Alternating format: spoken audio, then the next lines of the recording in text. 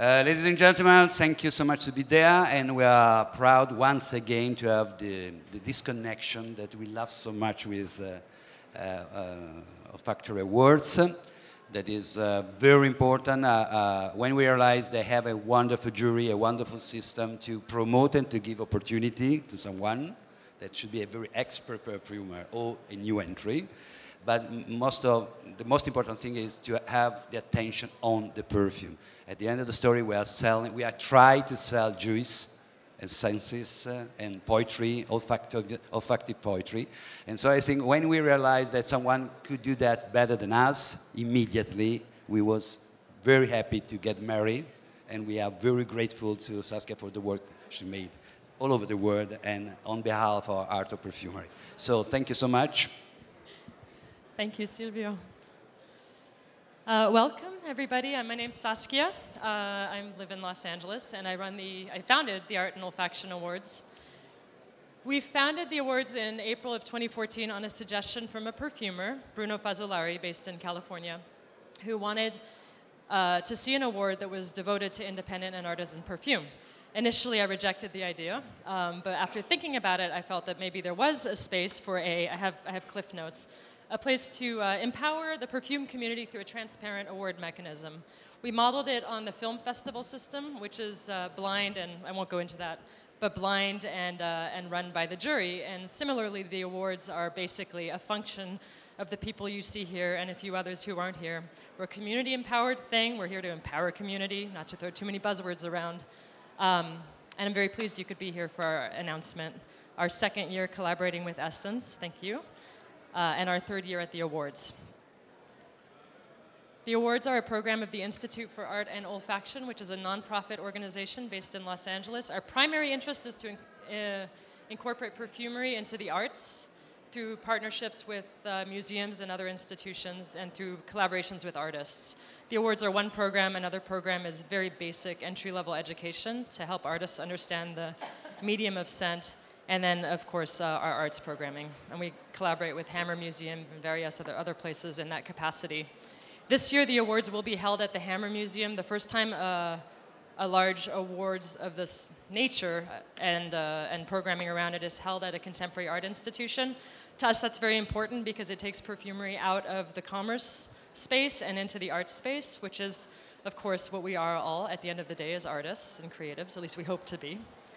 And with that, I'm going to get out of here and hand it over to Luca Turin, who's going to speak about whatever he wants.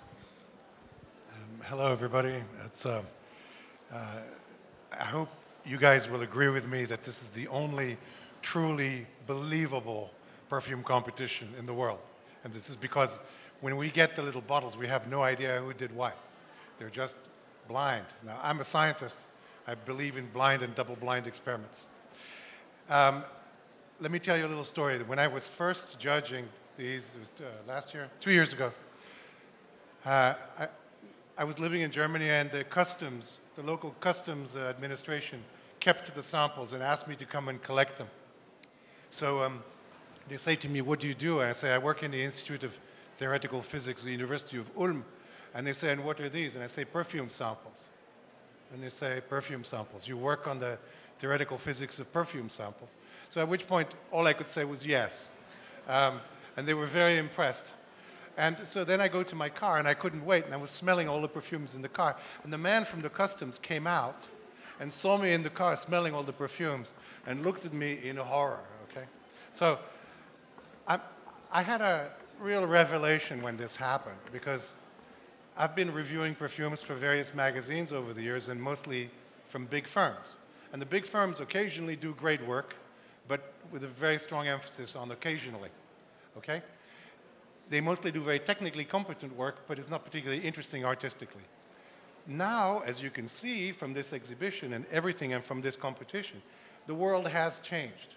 And if I may quote uh, the words of my hero, Michael Edwards, the gates of perfume heaven have opened. Okay? This happened in the last five years.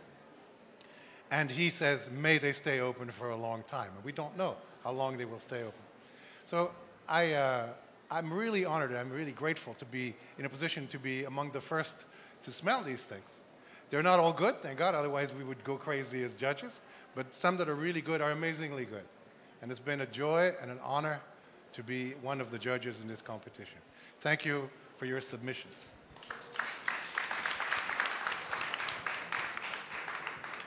So I'm Mark Behnke of Colognoisseur.com, and I was one of the finalist judges for this year's competition, and I'm going to give you sort of an overview of the judging process that went here. And I think one of the things that is the most important aspect of this competition, in my estimation, is the transparency of the judging.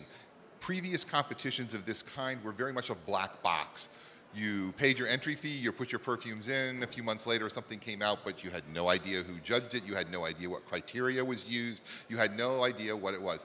This competition is the absolute antithesis of that. Every bit of criteria, every single perfumer who submitted understood the process that was going to go through. The first one is everything, as Luca said, in small, clear vials with just a number on them and a sheet of paper, a white sheet of paper with black and white print with whatever they want to say and what they were trying to achieve with their perfume. A preliminary round of everything was judged by a group of 16? 16 judges. And it was done in the open at the Institute of Art and Olfaction. Some were sent to some judges that didn't live in the close enough to the LA area to come in and do this.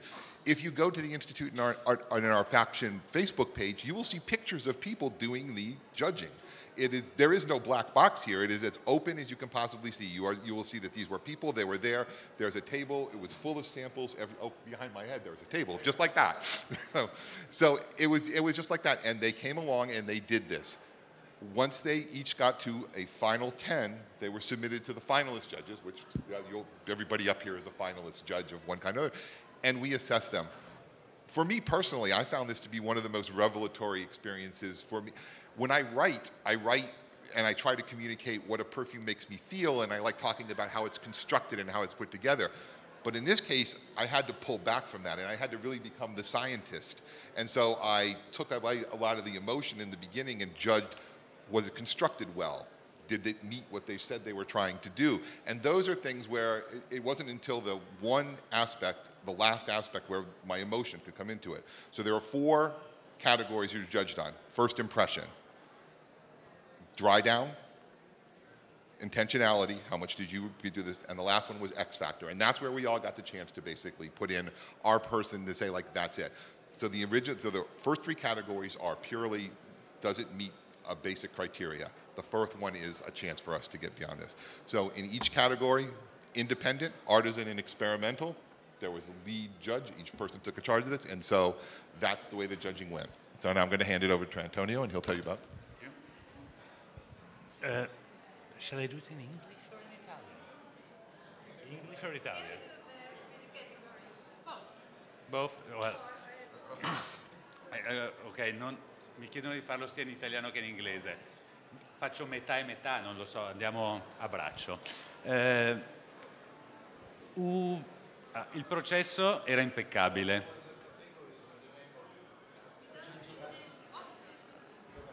You don't see the name? of a category? Right.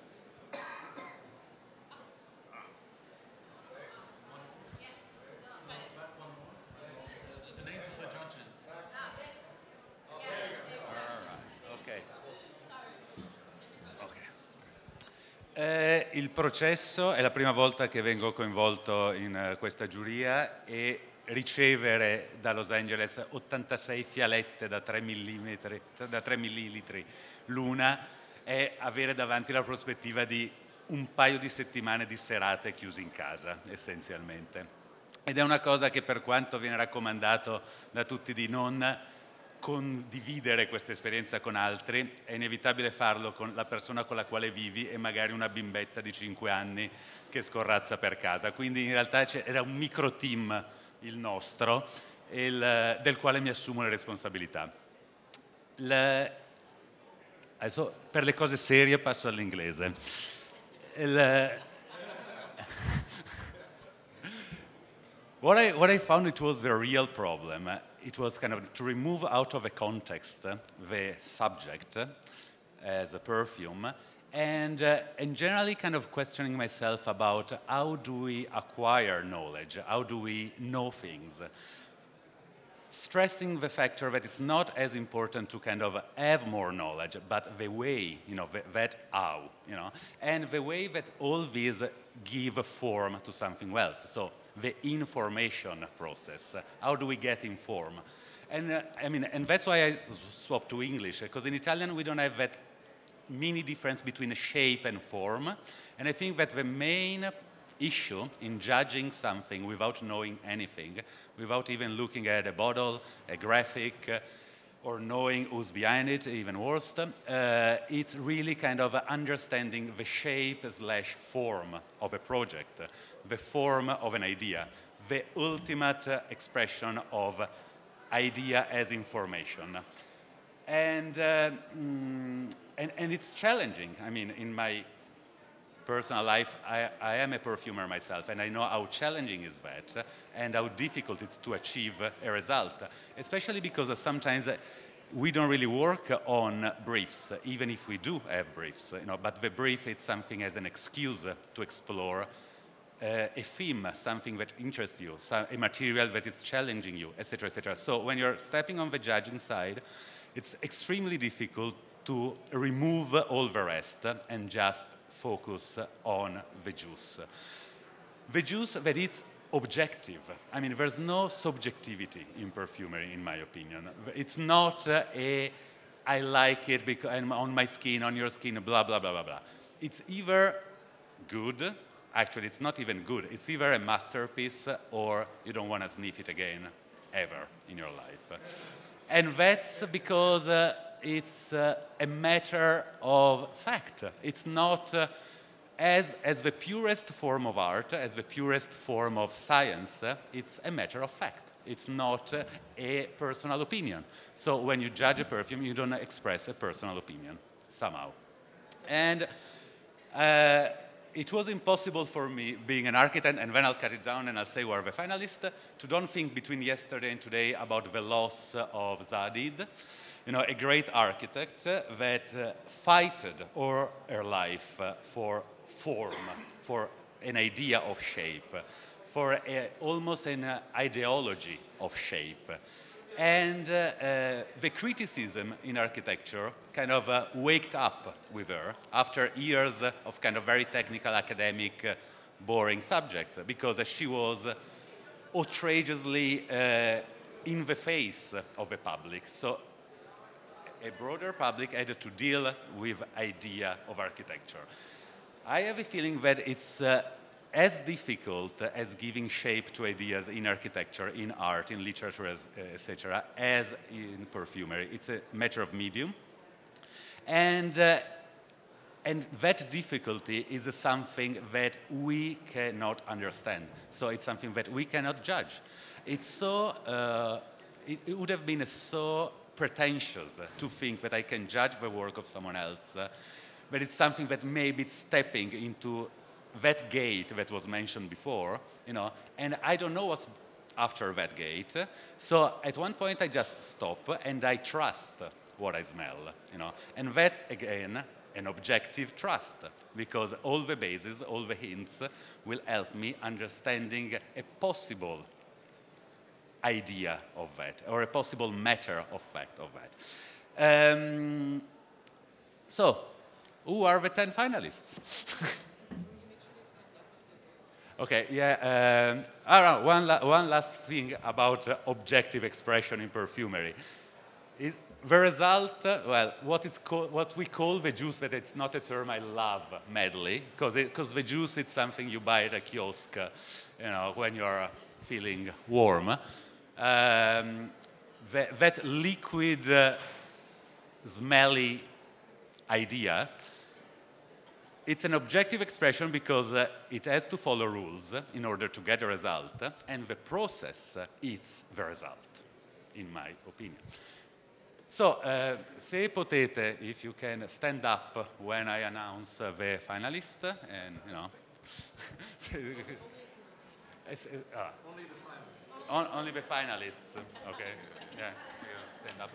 Okay. Uh, so in the artisan category, we have uh, Albino, a study in white from DSH Perfumes, Bird of Shall we clap our hands.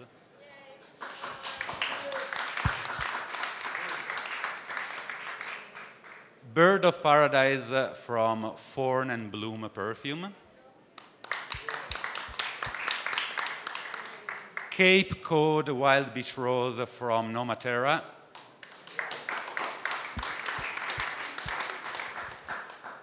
Incendo from La Curie. Love for Three Oranges from Aether Arts Perfumes. Miyako from Auphorie. Musk Rosatar from Rising Phoenix Perfumery. Namibia from Fraser Perfume. Peach Tree Garden from Phoenix Botanicals. And Salome from uh, Papillon Perfumery.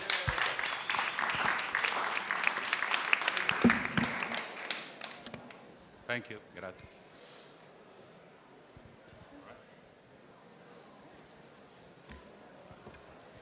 Hi, everyone.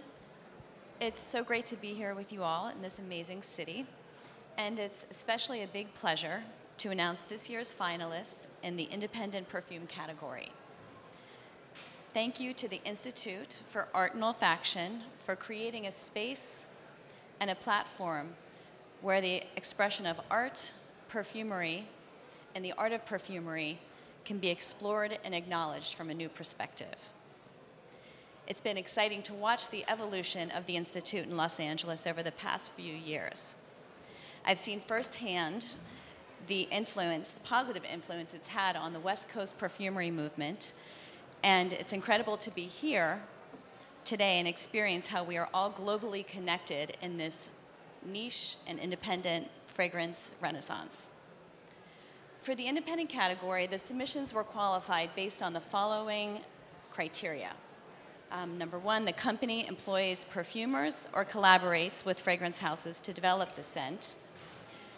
The company is the ultimate decision maker for all fragrance decisions, brand and marketing decisions. The company is privately owned.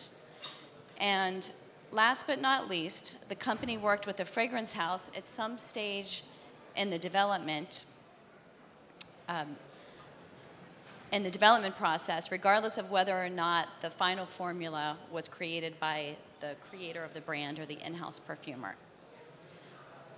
What I find impressive about this category is the level of collaboration between the fragrance house and the independent perfumers from the inception of the product all the way through to the, from the inception of the concept all the way through to the finished product. As a perfumer for over 20 years in the industry, as well as being an independent perfumer, I can tell you that it takes a lot of dedication, commitment, trust, and wait, communication, trust, commitment, and dedication for this type of collaboration to result in something truly special. This year's submissions were noteworthy for many reasons, for their style, for their composition, but also for the fragrances that each story revealed and the stories they revealed through the fragrances. Each perfumer who submitted in this category deserves to be acknowledged for their acknowledged and congratulated for their dedication, for their work, for their vision, and for their success in conveying their stories through scent. And most importantly, for sharing these stories with us. And now for the finalists. I'd like to go ahead and announce the 10 finalists for the category. So if you hear your name, please stand up. Okay, we'll start with Panorama by Olfactive Studio.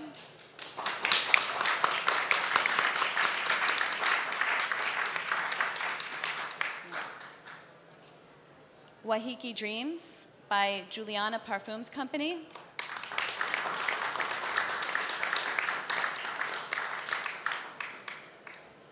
Fougère Nobile by Nobile, 1942.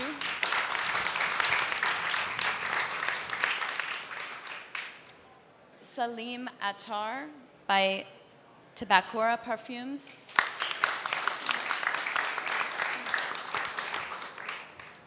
Nea by Jul et Mad, Paris.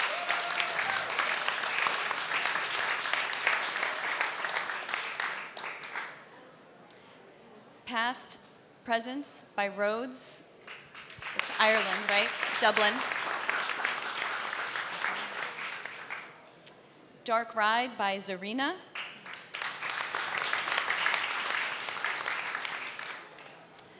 Elephant in Roses by Maria Candida Gentile.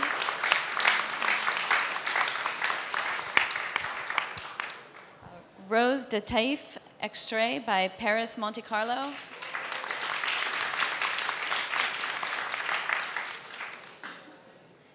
And last but not least, Bat by Zoologist Perfumes.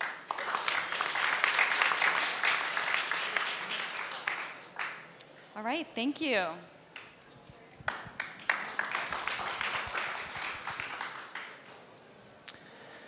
And last but not least, the experimental category. Uh, my name is Ashraf Osman. I'm from the Scent Culture Institute. And uh, again, I'd like to thank Saskia and the Institute for Art and Olfaction for inviting me to be part of this really special process and award. Um, the Sadakichi Award for Experimental Work with Scent is a bit different than the two previous categories.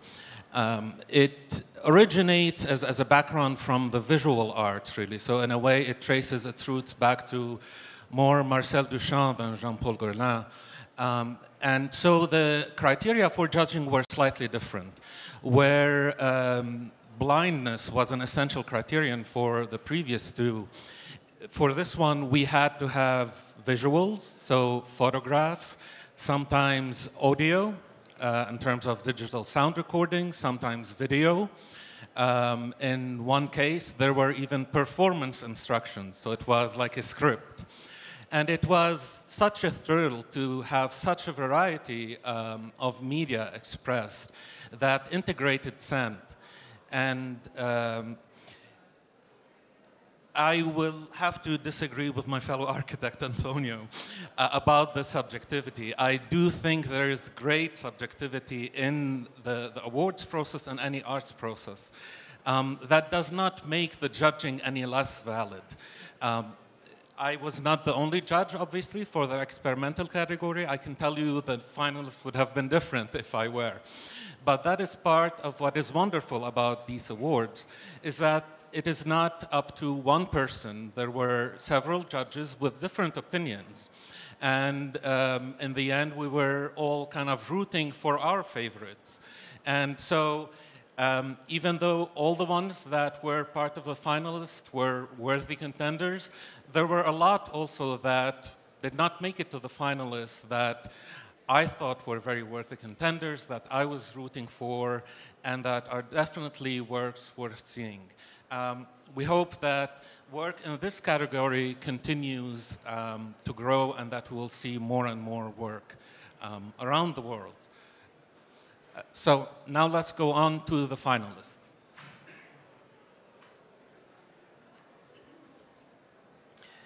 Here we have five finalists and uh, by alphabetical order, Century's Breath by Kat Jones,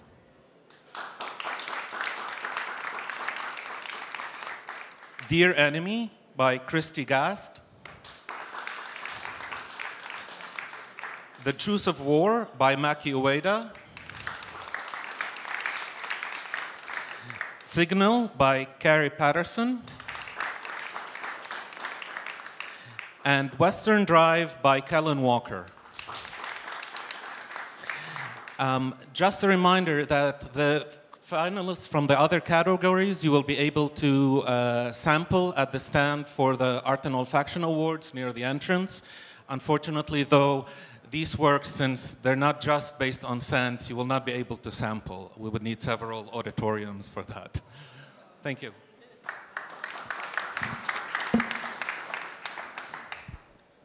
Uh, thank you, Luca, Mark, Antonio, Sherry, and Ashraf. Uh, Luca's been a judge for three years. Without his participation, I don't think the awards would have happened, frankly, if we're honest, because a young chick from LA with an idea is one thing, but a young chick from LA backed up by illustrious Luca Turin is another. So I want to especially thank Luca for seeing the vision and believing it. Um, it's true. It's completely unreasonable. Um, the fact of the matter is, Saskia has been doing an amazing job of running this thing. She writes the best business emails I've ever read in my life. And I'm, I'm taking private lessons on this. Um, and really, uh, it was a thing whose time had come, and she's made it happen professionally, fairly, and with a steady, continuous vision that's on track so far. So I thank you. All right. Likewise, Mark Behnke has been, I'm not going to let you all respond, I'm sorry, because my ego's, you know. Uh, Mark Behnke has, uh, has been a, a, steady supporter. He's been very honest with me. He's, um, he caught a couple things that without his uh, help would have gone through. Um, so I want to thank Mark very much for his steady vision and brutal honesty. Uh, Antonio is, you know, the spirit of the awards at this point, I think. He's the, he's the the Platonic hero that guides our philosophy towards objectivity. Sherry has been a judge for three years from the beginning as well, and as a preliminary judge, she initially smelled everything. So she spent hours and hours and days and days in the institute going through the smells. Now, thankfully, she's only experiment um, independent, so it's a bit easier for her. But thank you, Sherry. And Ashraf who together with Klaus have guided the experimental sort of vision of the awards and has kept us on, and have also uh, analyzed the data and kept us honest as well, if we're frank. Um, so a little housekeeping, what's next? We're gonna announce the winners at our uh, awards ceremony in Los Angeles. It's free to attend, it's open to the public. It's part of the Hammer Museum's public programming now. So the museum has taken it on as a program, which means that we have a lot of resources at our disposal to do a very big event this year. Uh, as a public event, it means anybody can come off the street. Hopefully, they won't wear jeans, but if they do, that's okay, because our mission is to bring this to the wider public and to make parallels between perfumery and art as a whole. Um, okay. I want to quickly call out the last past winners. Uh, in 2014, our first year, Ashoka by Neela Vermeire Creations, she's here. The perfume was by uh, Bertrand Duchaufour, who's also here. Uh, Konig by Yosh. Uh, the perfume was uh, made by Olivia John. Calling All Angels by April Aromatics. Tanja Bochnig is here with her booth. Definitely go say hi. And John Frum by Aether Arts Perfume, perfumer Amber Jobin, based in Colorado. In 2015, the winners were Black Pepper and Sandalwood uh, by Acca Kappa, perfumer Luca Maffei, who's right here. Skive by Canoe, perfumer Jess Jessica Hanna who's not here. Uh, Eau de Céleri by Monsillage, a brand out of Canada. The perfumer's name Isabelle Michaud. And then finally, Woodcut by Olympic Orchids by Ellen Covey, based in Seattle. Uh, the experimental category first year winner was Famous Deaths by a group of uh, Dutch artists, uh, Marcel van Brakel, Frederik During, Durerink, uh, I don't speak that, I don't know how to say that, Mark Murenverd, and Wander Eikelboom. I'm sorry for my Dutch. Finally, I'd just like to quickly thank our partners. I won't go through them all, but Silvio and Valentina at Esxence have been great supporters. Um, the Scent Culture Institute, of course. Past partners, of course, have included uh, Safleur Bon. Um, we've been very grateful to our blogger partners and our, our, our, support from our community. So we couldn't do this without them. Um, did I miss anybody who's here? No, okay. And I think we're going to open it up to questions. So if anybody has any questions, please feel free. We have about five minutes to answer a couple questions, and then we're going to go relax.